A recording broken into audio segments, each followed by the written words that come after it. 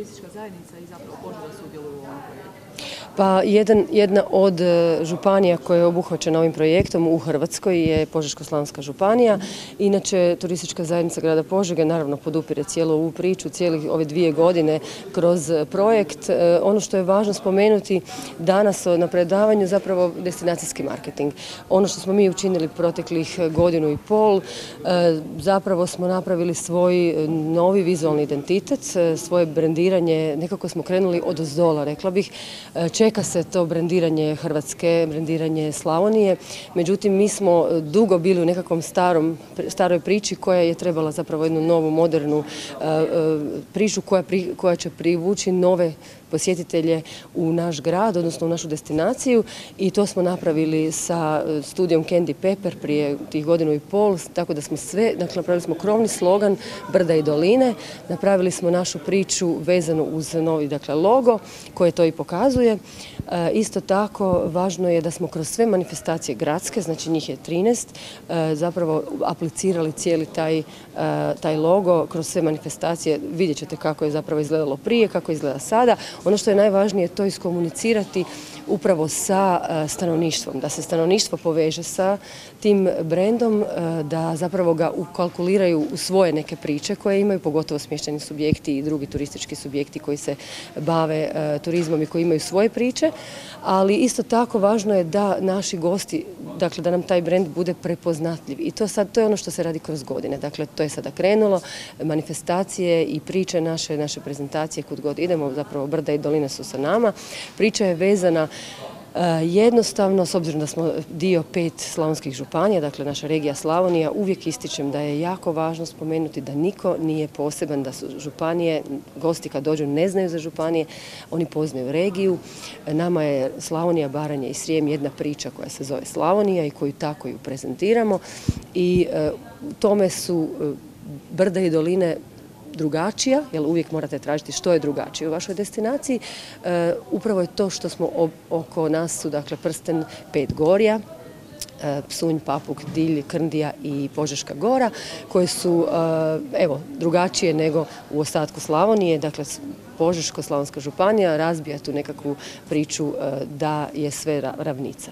I to je ono što naše goste privlači, tri osnovna elementa, gastronomija, e, po mjeri modernog čovjeka, suvremena kultura i naravno treće aktivni turizam koji je jedinstven u regiji od paraglidinga, pješačenja, cikloturizma koje sam već spomenula i to je ono što ove rute također, dakle ovih šest ruta koje postoje, tri velike rute zapravo koje postoje e, u šest paketa aranžmana ovog projekta, naravno dio toga su i, i dakle, priče iz Požege, odnosno iz naše županije.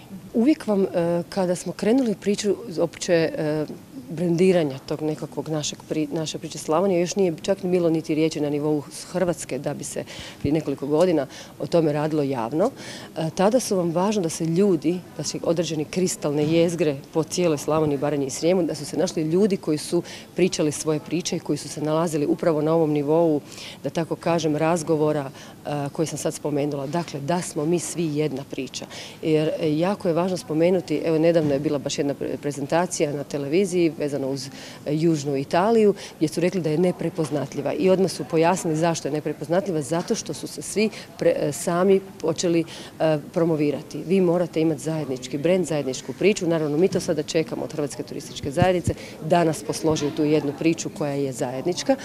Eh, jer tako će nas gost prepoznati. Kad vam dođe neko iz Koreje ili iz eh, ne znam, SAD-a ili iz, iz Njemačke, on, njemu je Slavonija već teško uopće, a kamoli da tražimo sad posebne manje e, cijeline kao što su Požega ili Osijek ili e, Đakovo. Dakle, time se ne umanjuje važnost naših destinacija, to je jako važno spomenuti. Mi kad gost dođe kod vas, tada ga treba upoznati s onim e, zapravo gdje je on došao, da li je to Baranja, da li je to Srijem, koji je to grad, ali kada on upoznaje destinaciju, izuzetno je važno da zna što to mi sve nudimo zapravo zajedno. Pa možda je to evo raz, razlog tome što smo mi krenuli sa tim brandingom, iako moramo reći da nas isto upozoravaju kad vam dođe taj veliki branding Slavonije, morat ćete se poslagati po njemu, da, da pače. Zato smo i odabrali ove tri nekakve cijeline koje smo mi prepoznali. Uvijek treba sve ići od ozdola, onda će vas poduprijeti i ministarstvo i Hrvatska turistička zajednica kad vide da ste od ozdola napravili nešto. A e, da li smo prepoznatljivi ili ne, to će reći gosti opet. E, važno je da e, bez obzira gdje se nalazimo, da nađemo te svoje posebnosti, karakteristike koje nas izdvajaju od bilo koje druge destinacije i zbog kojeg bi baš neko došao kod nas. Mislim, Slavonija ima cijelu priču gostoljubivosti, gastronomije, ta srdačnost. To je nešto što ne možete reći da ima svaka država i da ima svaka regija u Hrvatskoj.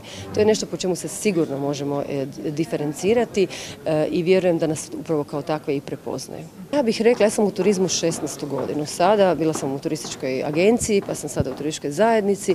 E, moram reći prije trih desetak, 15 godina nije bilo riječi o ovom ruralnom turizmu. Mi smo ga htjeli, ali nije bilo, nije bilo e, riječi o tome i, i bilo je prilično teško se izdvojiti uopće u masi jer nismo bili niti traženi, niti na nekakvom, nekakvoj karti turističkoj.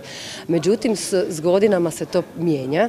Mi smo sve spremni, s obzirom da naš turizam traje 365 dana, da naši e, gosti, da naši restorani i smješani kapaciteti su non stop otvoreni, da se naši ljudi trude, uče, educiraju, što je najvažnije od svega, dakle da, e, da rade na tome da budu prepoznatljivi, odnosno oni još to možda ne gledaju tako jer su još uvijek na tom nivou da uče za sebe, ali tu je potrebna javni nastup, prezentacija, e, način na koji ćete prezentirati se kroz društvene mreže, e, kako, kako ste, koliko ste često na Instagramu, na, na, dakle na Facebooku, na Twitteru, na bilo kojoj društvenoj mreži koja vam je bliska. Na svako mora svoj turistički subjekt na taj način prezentirati i onda naravno povezan sa turističkom zajednicom istupati e, na ne znam, sajmovima, na nekakvim prezentacijama koje vršimo i tako dalje, ali e, mislim da, da ovoga da, će, da bez obzira koliko se zadržavamo u jednoj destinaciji, da svako će imati koristi. Ne treba to tako gledati. Trebamo upravo biti oni koji će reći evo i moj susjed prodaje vino i prodaje sir i do, kupite i kod njega. A malo smo u tome kao Hrvati drugačiji. Mi ipak sebi nekako gledamo da ćemo uzeti sebi, da, da nećemo s time puno postići suradnja, sinergija. To je najvažnija stvar ovoga, zapravo cijele priče. Jesmo li na mikrodestinaciji koja se tiče Požege sada ili smo na nekakvoj široj priči regije Slavonije uvijek trebamo gledati da je ta sinergija, jedan viši cilj treba biti iznad nas.